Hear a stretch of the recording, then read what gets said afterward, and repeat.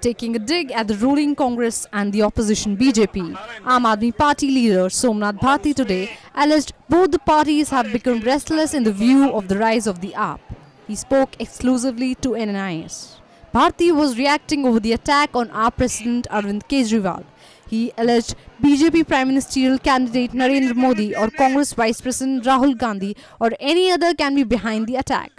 This ambition to become Prime Minister is collapsing with the rise of AAP, he said. Their ambition to become Prime Minister is collapsing with the rise of AAP, he said.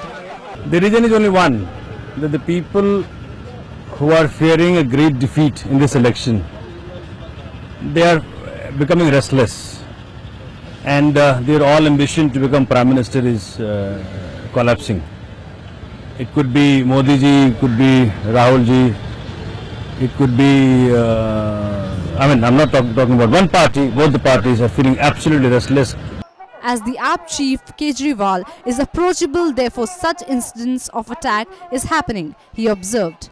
Only Kejriwal reaches to people without any security scare, Bharti claimed.